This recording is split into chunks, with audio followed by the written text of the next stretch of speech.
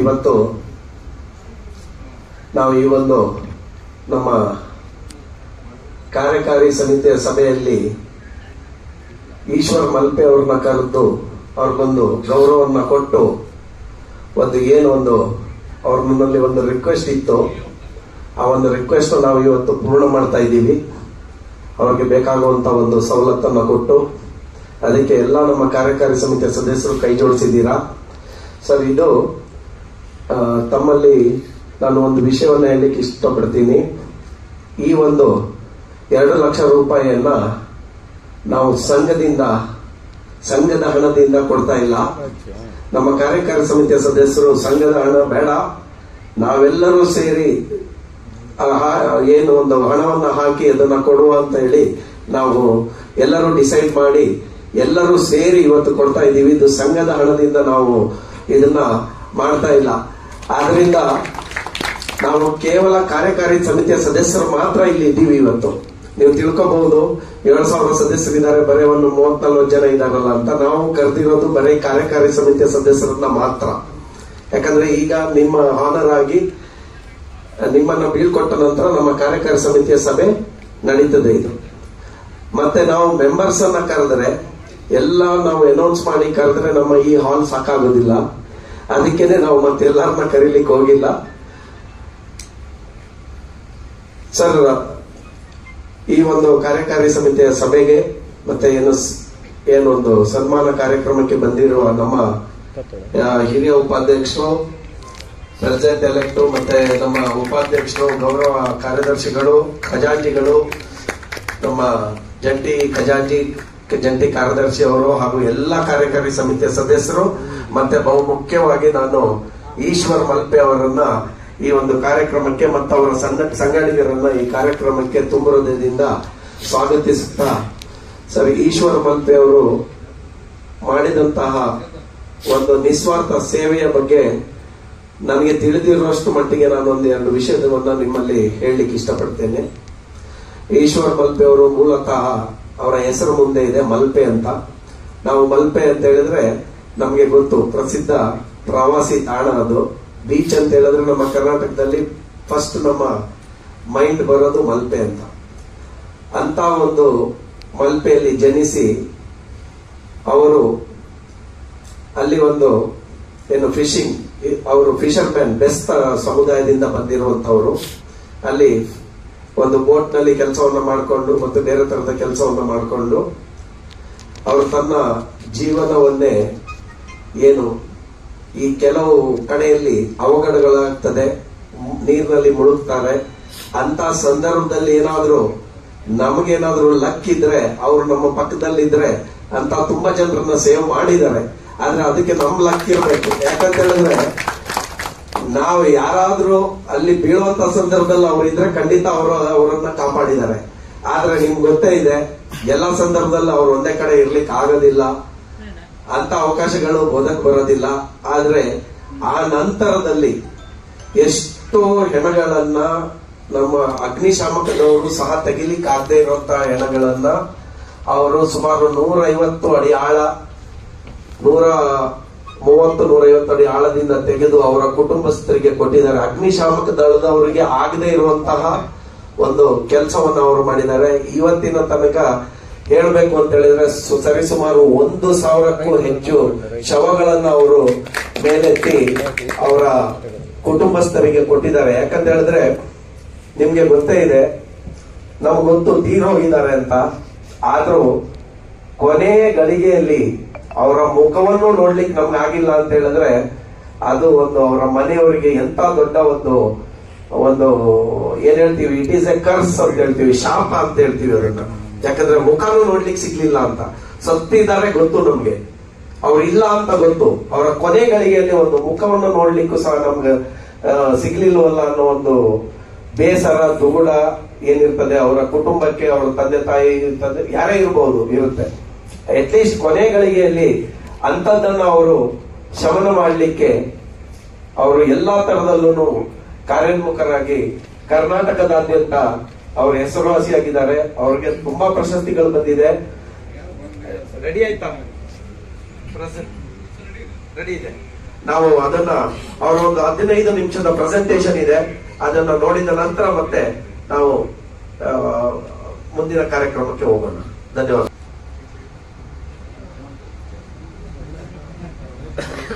ಸಹ ನನ್ನ ಭೇಟಿ ಅವ್ರದ್ದು ಆಗಿರ್ಲಿಲ್ಲ ನಾನು ಯೂಟ್ಯೂಬ್ ಅಲ್ಲಿ ಸುಮಾರು ವರ್ಷಗಳಿಂದ ಫಾಲೋ ಮಾಡ್ತಾ ಇದ್ದೆ ಊರಿಗೆ ಹೋದ್ರೆ ಅದು ಯಾವ್ದೋ ಕಾರಣ ನಮಗೆ ಭೇಟಿ ಆಗ್ಲಿಲ್ಲ ಆದ್ರೆ ಒಂದು ಫಂಕ್ಷನ್ ಅಲ್ಲಿ ನನ್ನ ಮತ್ತು ಅವರ ಭೇಟಿ ಬೆಂಗಳೂರಲ್ಲಿ ಆಯ್ತು ಆವಾಗ ನಾನು ಅದನ್ನ ನೋಡ್ತಾ ಇದ್ದೆ ಅವರು ಒಂದು ರಿಕ್ವೆಸ್ಟ್ ಹಾಕಿದ್ರು ಏನು ನನಗೆ ಯಾವುದೇ ತರದ ನನ್ನ ಸಂಸಾರಕ್ಕಾಗ್ಲಿ ಅಥವಾ ಯಾವುದೇ ತರ ಸಹಾಯ ನನಗೆ ಬೇಕಾಗಿಲ್ಲ ನನ್ಗೆ ನನ್ನ ಏನ್ ಮುಳುಗ್ಲಿಕ್ಕೆ ಏನ್ ಬೇಕು ಅದು ತುಂಬಾ ಹಳೇದಾಗಿದೆ ಅದು ಹೊಸದ್ ಮಾಡ್ಲಿ ಅದಕ್ಕೆ ಒಂದ್ ಎರಡು ಲಕ್ಷ ರೂಪಾಯಿ ಇಮಿಡಿಯೇಟ್ಲಿ ನಾನು ಫೋನ್ ಮಾಡಿದೆ. ಇದನ್ನ ಒಂದು ಖಂಡಿತವಾಗಿಯೂ ನಾನು ನಿಮ್ಗೆ ನಾನಾಗಿ ಮಾಡ್ತೇನೆ ಅಥವಾ ಯಾರ ಸಹಾಯ ಆದರೂ ಪಡ್ಕೊಂಡು ಮಾಡ್ತೇನೆ ಅಂತ ನಾನು ನಮ್ಮ ಕಾರ್ಯಕಾರಿ ಸಮಿತಿಯ ಸದಸ್ಯ ಪದಾಧಿಕಾರಿಗಳನ್ನು ಕೇಳ್ಕೊಂಡಾಗ ಎಲ್ಲರೂ ತುಂಬು ಮನಸ್ಸಿನಿಂದ ಏನು ತಾವೆಲ್ಲರೂ ಏನು ಇದಕ್ಕೆ ಸಹಾಯ ವಸ್ತುವನ್ನ ಕೊಟ್ಟಿದ್ದೀರಾ?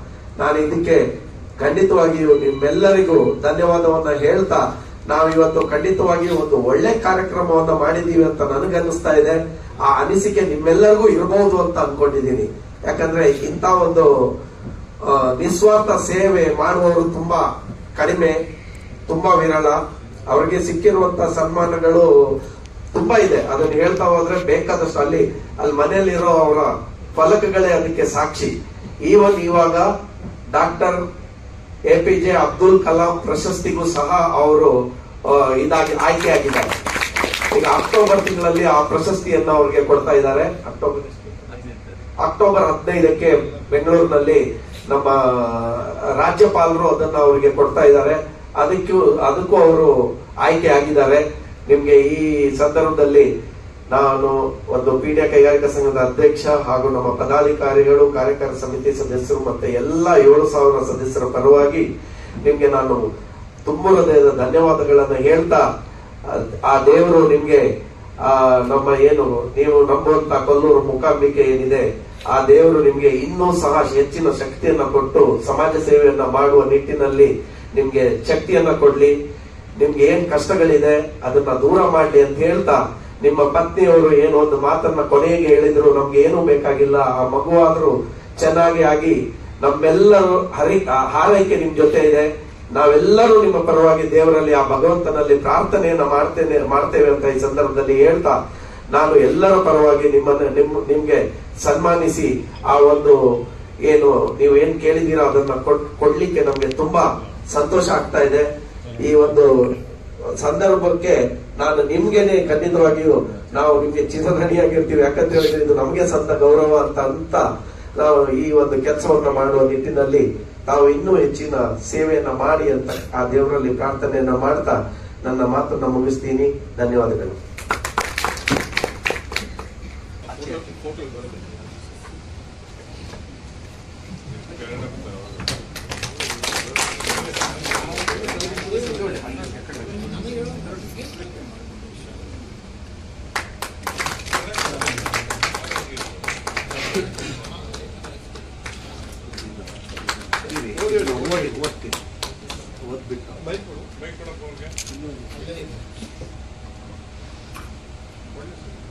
ಪೀಣ್ಯ ಕೈಗಾರಿಕಾ ಸಂಘ, ಪೀಣ್ಯ ಇಂಡಸ್ಟ್ರೀಸ್ ಅಸೋಸಿಯೇಷನ್.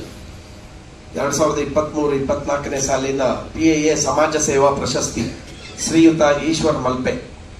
ಅವರು ಜೀವಮಾನದಲ್ಲಿ ಸಲ್ಲಿಸಿರುವ ಅತ್ಯುತ್ತಮ ಸೇವೆಯನ್ನು ಗುರುತಿಸಿ ಮತ್ತು ಸಮಾಜ ಸೇವಾ ಕ್ಷೇತ್ರದಲ್ಲಿ ಅವರ ಸೇವೆಯು ಶ್ರೇಷ್ಠತೆಯ ಹಾಗೂ ಅನುಕರಣೀಯ ಗುಣಮಟ್ಟವನ್ನು ಹೊಂದಿದ್ದು, ಅವರಿಗೆ ಮಾನವತಾವಾದಿ ಪ್ರಶಸ್ತಿಯನ್ನು ನೀಡಿ ನಾವು ಪೀಣ್ಯ ಕೈಗಾರಿಕಾ ಸಂಘದ ಸದಸ್ಯರು ಅವರ ಧೈರ್ಯ, ದೃಢತೆ, ಜಾಗ್ರತೆ ಮತ್ತು ಆದರ್ಶವಾದದ ಜೀವಂತ ಉದಾಹರಣೆಯಾಗಿ ನಿಂತಿರುವುದನ್ನು ದಾಖಲೆ ಮಾಡಿ ಗೌರವಿಸುತ್ತಿದ್ದೇವೆ. ಇಪ್ಪತ್ತೆಂಟನೇ ಸೆಪ್ಟೆಂಬರ್ ಇಪ್ಪತ್ತ್ ಮೂರರಂದು ಪ್ರಸ್ತುತಪಡಿಸುತ್ತಿದ್ದೇವೆ. ಪದಾಧಿಕಾರಿಗಳು ಹಾಗೂ ಕಾರ್ಯಕಾರಿ ಸಮಿತಿಯ ಸದಸ್ಯರ ಪರವಾಗಿ ಆರಿಫ್ ಎಚ್ ಎಂ ಅಧ್ಯಕ್ಷರು ಸತ್ಯನಾರಾಯಣಿಯು ಗೌರವ ಕಾರ್ಯದರ್ಶಿಗಳು.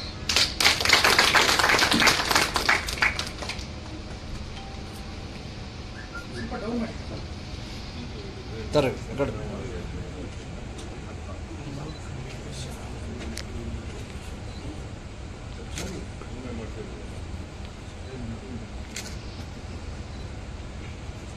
ಓಕೆ ಸರ್ ಎಲ್ಲರಿಗೂ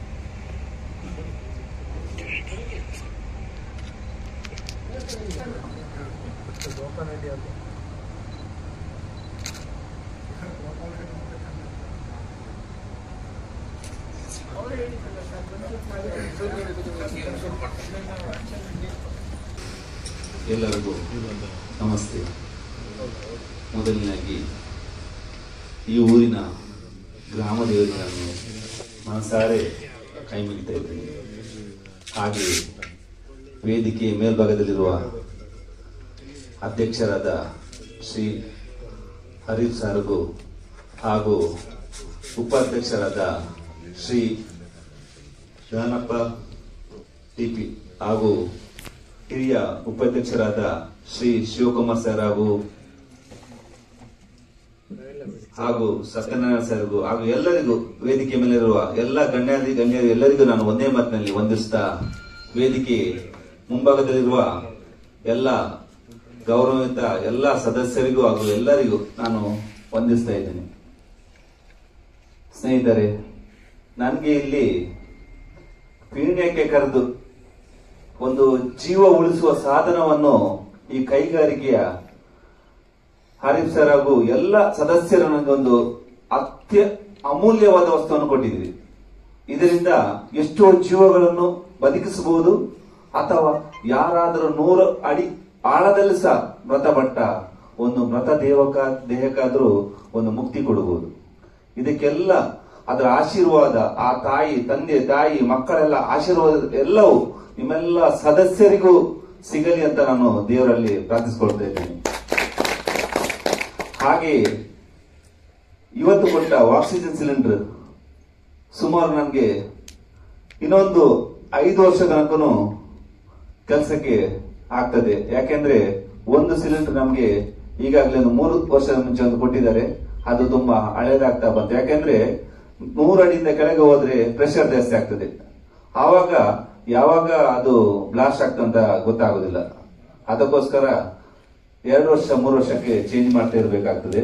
ಅದಕ್ಕೋಸ್ಕರ ನಾನು ಹರೀಶ್ ಸರ್ ಹತ್ರ ಒಂದು ರಿಕ್ವೆಸ್ಟ್ ಕೇಳಿದೆ. ಅವರು ಆವಾಗಲೇ ಒಂದು ನಿಮ್ಮ ಇದರಿಂದ ಒಂದು ಜೀವ ಉಳಿಸುವ ಒಂದು ಸಾಧನವನ್ನು ಕೊಟ್ಟಿದ್ದಾರೆ. ಇದು ನನಗೆ ಮರೆಯಲಾಗದ ಕ್ಷಣ.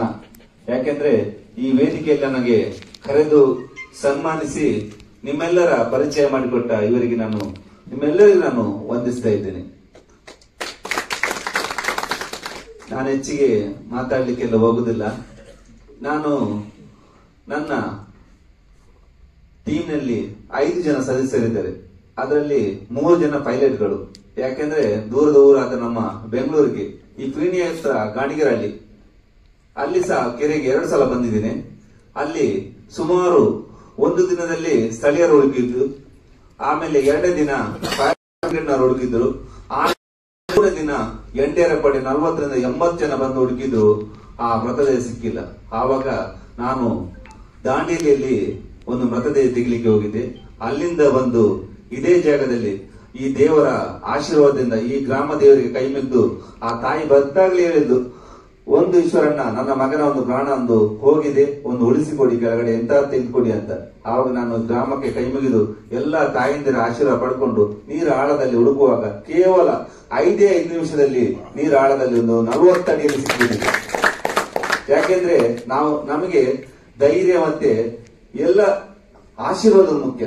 ಯಾಕೆಂದ್ರೆ ನಂದಂತ ನಾನು ಯಾವಾಗ್ಲೂ ಹೇಳುದಿಲ್ಲ, ಪ್ರತಿಯೊಬ್ಬರ ಜನತೆಯ ಆಶೀರ್ವಾದ ಫಲ ಇದ್ರೆ ನಾವು ಎಂತ ಕೈ ಕೆಲಸವನ್ನು ಸಿದ್ಧಿಸಿಕೊಳ್ಬಹುದು ಹಾಗೆ ಈ ಬೆಂಗಳೂರಲ್ಲಿ ನನಗೆ ಒಂದು ಆಂಬುಲೆನ್ಸ್ ಕೊಟ್ಟಿದ್ದಾರೆ ಡಿ ಕೆ ಶಿವಕುಮಾರ್ ಅವರು. ಖಾಲಿ ಒಂದು ಆಂಬುಲೆನ್ಸ್ ಉಂಟು.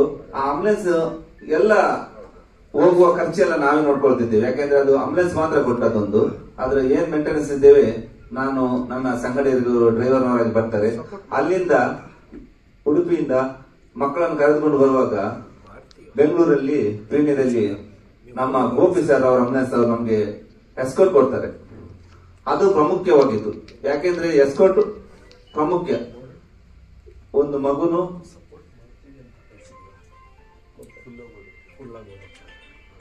ಒಂದು ಮಗುನು ಜೀವನ ಮುಖ್ಯ. ಯಾಕೆಂದ್ರೆ ಇಷ್ಟೇ ಗಂಟೆಯಲ್ಲಿ ನಮಗೆ ಉಡುಪಿ ಟು ಮಣಿಪಾಲ ಮಣಿಪಾಲ ಟು ಬೆಂಗಳೂರು ಬರ್ಲಿಕ್ಕೆ ತಗೊಂಡು ಬರ್ಲಿಕ್ಕೆ ಹೇಳ್ತಾರೆ. ಆವಾಗ ನಾವು ನಮ್ಮ ಗೋಪಿ ಸರ್ ಇವರೇ. ಇವರು ಆಂಬುಲೆನ್ಸ್ ಜೀವನ ಜೀವನ್ ಜ್ಯೋತಿ ಆಂಬುಲೆನ್ಸ್ ಒಂದು ಐದು ಆಂಬುಲೆನ್ಸ್ ಇಟ್ಕೊಂಡಿದ್ದಾರೆ ನಮ್ಗೆ ಹೇಳಿದ ತಕ್ಷಣ ನೆಲಮಂಗಲ ತನಕ ಬಂದು ನಮ್ಗೆ ಎಸ್ಕೋರ್ಟ್ ಕೊಡ್ಲಿಕ್ಕೆ ತುಂಬಾ ಉಪಕಾರ ಮಾಡ್ತಾರೆ. ಅವರಿಗೂ ನಾನು ಧನ್ಯವಾದವನ್ನು ತಿಳಿಸ್ತಾ ಇದ್ದೇನೆ. ಎಷ್ಟೋ ಜೀವಗಳು ಉಳಿಸುವ ಪ್ರಾಮುಖ್ಯತೆ ಎಸ್ಕೋಟ್ ಗಾಡಿಗಳು ಗಾಡಿಗಳು ಸುಮಾರು ನಮ್ಗೆ ಹೆಲ್ಪ್ ಆಗಿದೆ. ಹಾಗೆ ಇಲ್ಲಿ ನನಗೆ ಕರೆದು ಸನ್ಮಾನಿಸಿ ಒಂದೆರಡು ಮಾತನಾಡಲು ಅವಕಾಶ ಮಾಡಿಕೊಟ್ಟ ನಿಮಗೆಲ್ಲರಿಗೂ ನಾವು ಹೊಂದಿಸ್ತಾ ನನ್ನ ಇದು ಉಚಿತ ಸೇವೆ, ನನ್ನ ಉಸಿರಿರುವವರೆಗೂ ನಾನು ಖಂಡಿತವಾಗಿ ಮಾಡ್ತೀನಿ. ನಿಮ್ಮೆಲ್ಲರ ಆಶೀರ್ವಾದ ಸದಾ ಇರಲಿ ಅಂತ ಬೇಡ್ಕೊಳ್ತಾ ಜೈ ಹಿಂದ್ ಜೈ ಕರ್ನಾಟಕ ಯಾರಾದ್ರೂ ಏನಾದ್ರು ಯಾಕಂದ್ರೆ ಆಯ್ತು ಸ್ಟಾರ್ಟ್ ಮಾಡ್ತೀವಿ. ಯಾರಾದ್ರೂ ಏನಾದ್ರೂ ಹೇಳೋದಿದ್ಯಾ? ಒಂದು ಒಂದು ಒಬ್ರು ಇಬ್ರು. ಇಲ್ಲ ಈಶ್ವರ ಮಲ್ಪವ್ರಿಗೆ ಶುಭವಾಗ್ಲಿ ಅಂತ ಹೇಳ್ತೀವಿ ಇನ್ನೂ ಒಳ್ಳೆ so let us give aim standing ovation